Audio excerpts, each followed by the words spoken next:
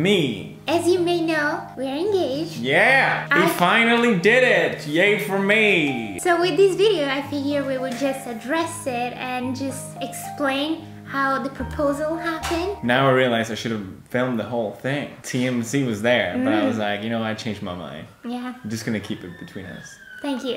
So obviously we got a lot of questions of like how it happened. People want to know. Mm-hmm.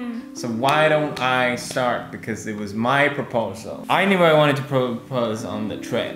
Mm-hmm. Because we were going for 30 days and I've been thinking about proposing. So now, obviously, if we go to Japan, perfect moment. You have been thinking about proposing for how long? I've been thinking about it for a, for a while, but like, I haven't decided. It was up in the air in my head. You know me. Yeah, yeah. I mean, yeah. But I, I, I was like, okay, well, I'm not gonna get a better opportunity than this. Mm. So that's when I was like, holy shit, yeah, it's happening. You told me that you got the engagement ring two weeks before the trip, around Yeah, that time. yeah. What if like you couldn't find the ring? Yeah, I was worried. Yeah, I was really worried. What if it didn't arrive in time? I was really worried. I was also worried about going to jewelry stores mm. and people would spot me, you know, mm. because then I. Definitely in Brighton. Yeah, so I knew I had to order online, and then it's like I can't see the ring technically. Mm. So I was so worried it wasn't the right ring, the right size.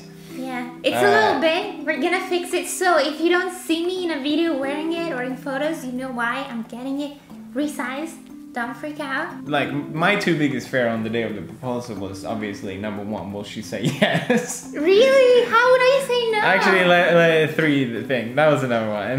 that we had a really perfect day together. I really wanted this to be a good memory. Mm-hmm. Yeah. That the ring fits. But it does.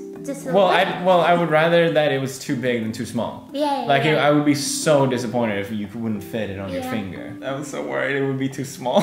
you like the ring, right? Yeah, I love it. It's perfect. It, it's exactly what I always wanted. Yeah, I kept glancing over your fingers and I was so worried you would see that I was looking. I knew I was gonna propose. I wanted to do it by the end of the trip. I don't know, I wanted it to finish strong, you know? Yeah, it But did. you, you suspected me at some points, didn't At you? At one point, because I'm usually the planner, I'm the one that like puts together the activities to do on the day.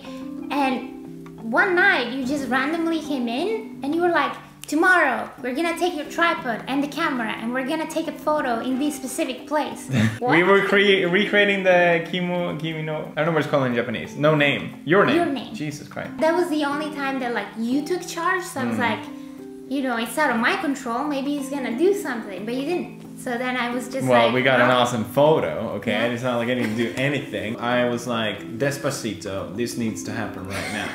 Hakone, the place we went to, It was so beautiful. it had all bloomed at that time as well, so it was just green everywhere. It looked magical. Mm-hmm. We arrived there like after lunch, and then we checked into the hotel. You really wanted to do the cable cars. I mean, I wanted to do them too. We, I knew we only had time for one activity. So we reached the cable car, and the guy didn't speak any English. Yeah. Which never happens. he was just like, no car, no bus, He was trying to tell us that it closes at 5. Mm-hmm. We had plenty of time. for sure. But we couldn't come back with the cable car. That's what he was trying to say. So then he asked like a colleague that actually spoke really Perfect good English! to explain us. So the other guy comes in and he's like, Yeah, I really do not recommend going because you're gonna get stuck up there. You're not gonna be able to come back. And Oh we were God. just like, Should we do it anyway? Should we try? I was so freaking out because I'm like, this needs to be the perfect date. What do you mean we can't go? I was even considering in that moment, like, okay, maybe I should just do it some other time then. oh. Like, we needed this cable car. We got to go from all the green to over this volcano. Mm-hmm. It looked amazing. Mount Fuji said hello. I really wanted to propose with Mount Fuji in the background. I didn't know because like when we were booking this final trip, Yeah. You We- were like so stressed about it. I was Yeah, like, I it's was- fine, book it. And you were like, we need to book this right now. And I was just like working on something. I was like, Yeah, you didn't care. I spent like hours and you're like, eh, editing a you. I should have understood there. We had two options, Hakone and uh, the place near Mount Fuji. You really wanted the onsen, so I was trying to get an onsen with a Fuji view. It was just impossible. We actually went with the hotel that I originally wanted. And it was so amazing. It was so good. It was a good choice. So we got back in time, just right amount of time, to Mm-hmm. Yeah, switch into our culturally appropriated Japanese Japanese. They gave it to us. Yeah, exactly. Yeah, we got to wear yukatas, which is really cute. They gave us like this guide on how to put it on. We And- went downstairs. We went downstairs. We had a course meal. it came with the booking, yeah. Yeah, eight courses this time, which was reasonable, and the food was amazing. So much good food. We talked about the trip and how great of a trip we had. Because it was really an amazing trip. Mm-hmm. Yeah. It was like a break from our normal routine at home, and Yeah. we didn't have to worry about the pugs. Yeah, so we, we could could- just stay out and Yeah. adventure. Every day was like an adventure. It Yeah. really felt so amazing. Oh. So I knew every day more and more and more. Even mm. though I already knew, I really wanted that moment. And mm. we got the moment. Oh, yeah, because we had ate all this food. Yep. And then somehow we got onto the topic of food.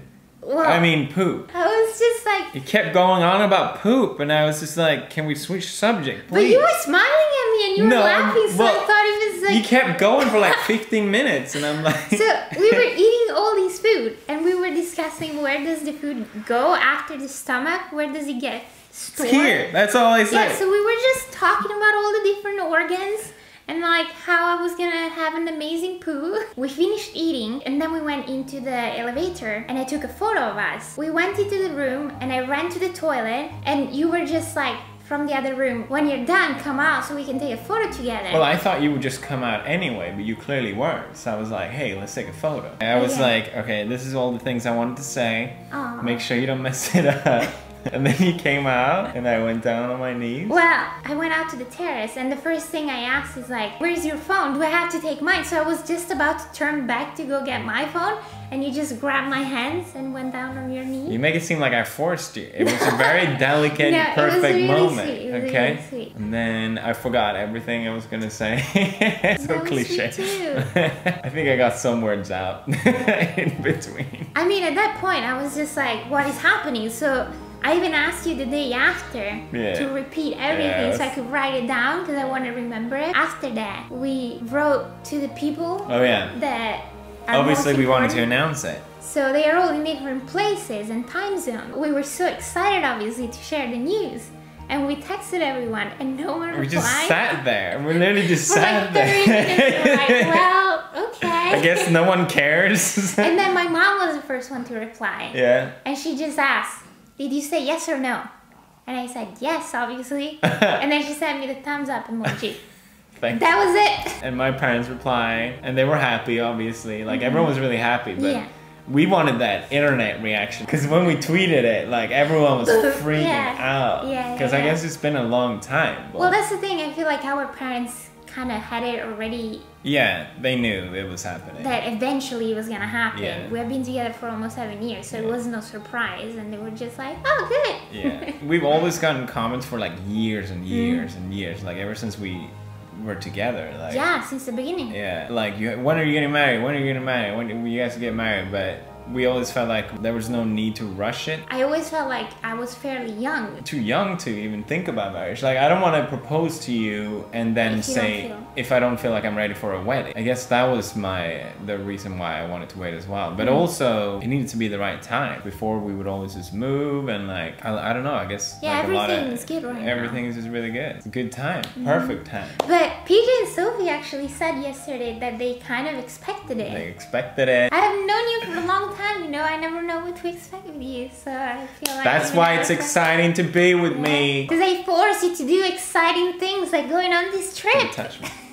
I didn't really want to do this trip because it's obviously scary to say, okay, I'm gonna work from another country. What's that gonna be like? Love how that's your priority for me was leaving the pugs. Well, Pugs was really difficult as well, obviously. We were lucky to have Daiso. Yeah. Thank you, Daiso, for taking care of the Pugs. Yeah, and she was so sweet. She was actually the person with the best reaction by far. She just like freaked out and started crying. It was so sweet. Because she asked me, like, would you have proposed if you didn't go on the trip? Mm. Because we were supposed to just leave our dogs with the dog sitter.